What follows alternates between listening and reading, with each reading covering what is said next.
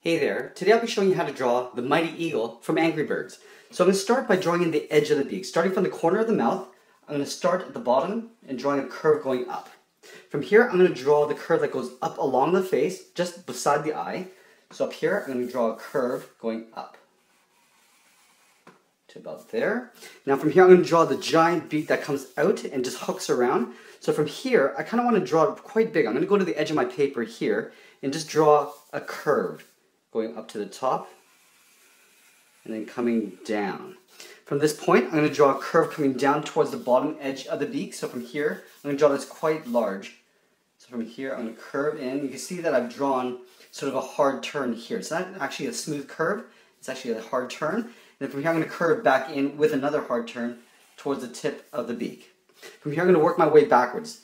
From this point, I want to taper out and draw a curve going up. Okay, so it's almost like a quarter circle. From here, I'm going to curve all the way back to the corner of the mouth with a curved line. So starting on the inside, curving down towards the corner of the mouth. From here, I'm going to draw the bottom edge of the beak. So from this corner, I want to do a curve that comes down and then tucks back up underneath the beak, the upper beak. So curving down. And from here, I'm gonna stretch this out and draw a curve going out to the bottom edge of the beak. Let's go ahead and draw in the nostril. Up here, I'm just going to draw a little hook, a curve like this. From here, I want to round out the tips and just fill it in black. So curving around and rounding that out just like that, and then coloring that in black. Now that we have the beak in place, we can figure out how big the body is going to be. So from this point, I want to sort of flatten out the top of the head and come around and just swirl around, almost like a, the number six. And I'm going to come just below the bottom edge of the beak. So I'm going to draw the body down to about here. So what I'll do is I'll start at the top, curve around the back edge of the head. Now this is going to come down, it's going to flatten out at the bottom, almost like a large oval. So coming across, I'm going to bring this up this way. Now I'm going to swing around just underneath the bottom edge of the beak and just swing it around like that. Okay, so it's like a big number six. From here, I want to close off the tummy. So from this point, I'm going to just follow along behind the beak, just draw an angled line like that. From here, let's go ahead and draw in the eyes. So up here, he's got a big furrowed brow. So what I'm going to do is I'm going to intersect this line in the body and just draw a curve from the back towards the front. This is just a line that separates the eye from the brow. From here, I'm going to draw a curve from that corner. I'm going to step in and just draw a half circle going across like this. And up in the top, just tucked underneath and towards the left, I'll draw a smaller half circle for the pupil. We'll color that in black. And then I'm going to give him a little bag underneath the eye. So from the same corner, I'm going to come down even lower and then back up to the top. Up here, I want to draw some of the bristles on the brow. So what I want to do is I want to draw a series of little lines that come out and then come back to that starting point. So what I'm to do is I'm going to start up here, draw an angled line, and then curve with the contour of the brow, and then I'm to go back out again. And I'm to do this four times, going up, and I'm sort of aiming towards that tip and coming back again.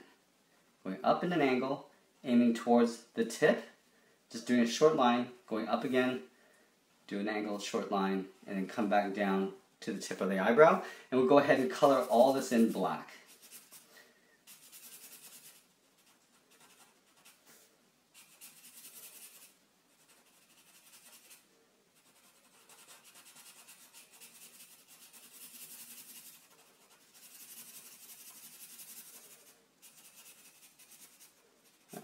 So we got the eyebrow, the eye. Let's do some fur details. So up here on the top of the head, he's got some bristles that stick up. Similar to how we did the eyebrow, we're to start just on the top of the head here, and we're going to draw three curves. So one there, we're to draw one a little bit longer, and then one over this way, a little short one. At the tops of each of these lines, I'm just going to draw an angled line going out horizontally. From that tip, I'm going to curve down to the starting point again. So coming down like this, Going back to the second one, curving down, and then the third curving down to that point. We'll go ahead and fill all that in black.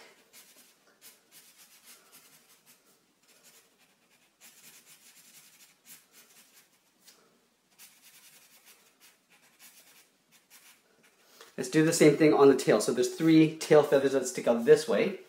So just around the belly, midsection of the belly, we're gonna draw three curves. So right up here, we'll draw one, draw two. We're gonna leave a little gap in between as well. We don't have to make them stuck together. Three, and then here I'm just gonna draw three angled lines. And it's not perfectly straight up, it's sort of tilted a little bit. And then again, starting from that end, we'll curve right into the starting point. Here as well. And then the bottom, and we'll go ahead and color all those in black.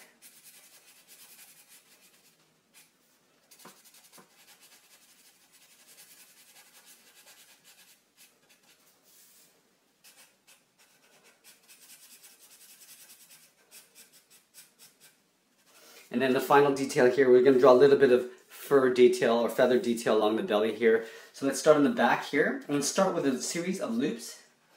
So just doing little curves like this all the way across. And they can be varying size and varying width. So it goes a little bit bigger, go a little bit smaller. And then at this point, we're going to transition to little hooks. So going up, we'll curve down, and we're to do a series of these hooks of different size and width across for the big one, do a small one here, then one final one, tuck that in underneath the belly line, and that is pretty much it. There we have it. There's the Mighty Eagle from Angry Birds. I hope you enjoyed this lesson. Thanks for watching, and we'll see you again soon.